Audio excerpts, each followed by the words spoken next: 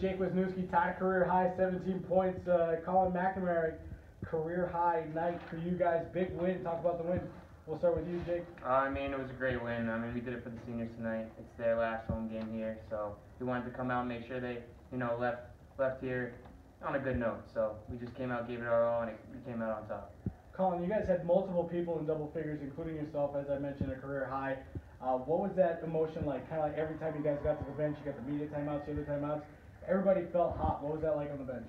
Well, with the, the median timeouts, it gave us more rest, so everybody was more energetic. I know I was compared to the MIT game.